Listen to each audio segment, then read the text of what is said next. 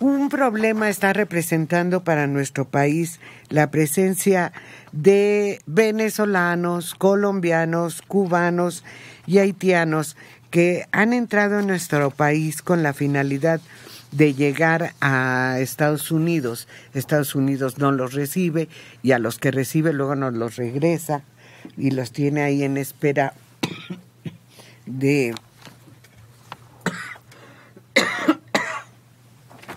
de una solución a su petición de asilo, pero el problema es que siguen llegando.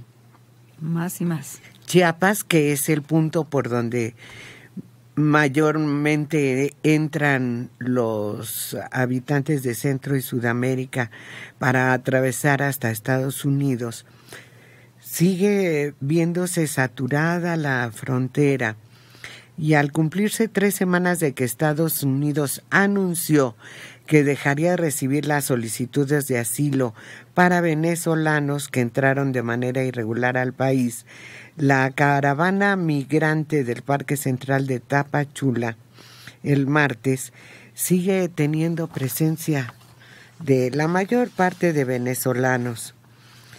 Una caravana se fue, pero en el camino se dispersaron y siguen llegando, siguen llegando. Y pues yo no sé, algo, en algún momento van a tener que tomar una solución firme, tanto México como Estados Unidos, porque nuestro país no va a poder seguir con la puerta abierta todo el tiempo y que lleguen y se queden. ¿O sí? ¿Ustedes creen que, que sí pueda seguirse recibiendo a inmigrantes eternamente? Pues no, pero no va a continuar eternamente la, el, flujo. El momento en que vean que ya no funciona, van a dejar de venir. ¿Tú crees? Porque ya ves que ahora no solo los dejaron pasar, pero nos los regresaron y ahí están todos en la frontera norte.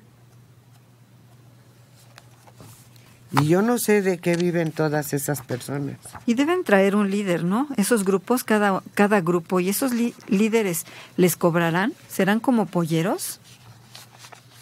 ¿Quién sabe? Yo creo que nadie hace nada en ese sentido eh, por ayuda humanitaria ni nada por el estilo. Porque todo además es pues si no es fuera de la ley, si es clandestino o medio violando la ley o con el apoyo de algunas autoridades con una módica cantidad y todo. Yo creo que, a ver, la migración es algo que nunca va a desaparecer, es como el narco. Tienes que buscar los mecanismos para que sea mejor para todos. Eh, obviamente, para tu población que recibe a los migrantes porque los regresaron, porque los deportaron.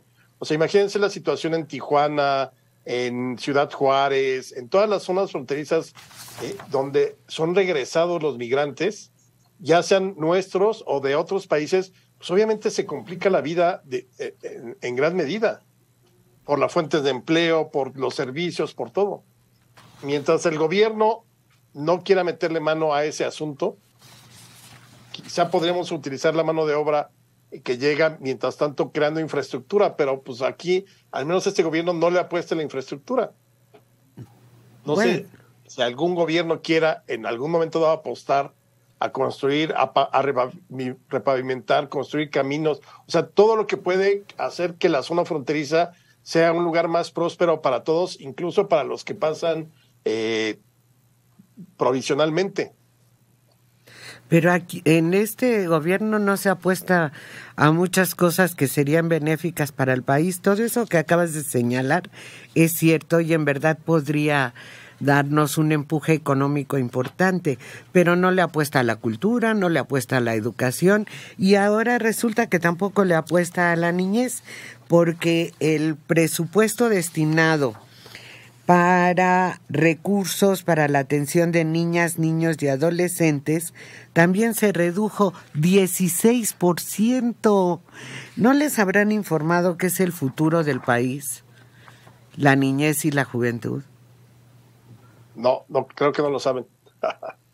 pues Pero es que así se mantiene la estabilidad económica del país, se reduce el gasto público en cuestiones eh, que no repercuten inmediatamente en la propaganda del gobierno y se mantiene la estabilidad cambiaria y, bajo control la, la, la, inflación. Son medidas neoliberales profundas. Pero a ver. Cualquier otro gobierno causaría escándalo. Porque fíjate, no gasta en unas cosas, sin embargo, el Fondo de Cultura Económica desembolsó 15 mil dólares para rehabilitar la librería Tuxpan, solo que la librería Tuxpan está en La Habana. Bueno, es, un gasto normal que debe tener un editorial. A mí no me sorprende en lo más mínimo. Y si vas a un lugar donde compran muchos libros, pues está bien. Eso está bien, ese tipo de gastos está bien. El problema es que ese dinero agarre, se lo den a gente que lo va a gastar nada más. Bueno. Ese es el problema. ¿Se acuerdan que cinco mexicanos denunciaron a Donald Trump por una supuesta agresión de sus guardias de seguridad frente a la Torre Trump? Pues este caso que había llegado hace siete años a la Corte Suprema del Bronx, pues este lunes apenas comenzó el proceso de selección del jurado, pero ambas partes decidieron resolver el asunto antes de adentrarse en el juicio. Pues si ya esperaron siete años, yo le hubiera seguido. Las partes están de acuerdo en que los denunciantes de esta acción y todas las personas tienen derecho a protestar pacíficamente en las aceras públicas. Y ya todo quedó así. Siete años ahí insistiendo con abogados y metiendo escritos para que ahora digan, ya, todo olvidado, todo bien.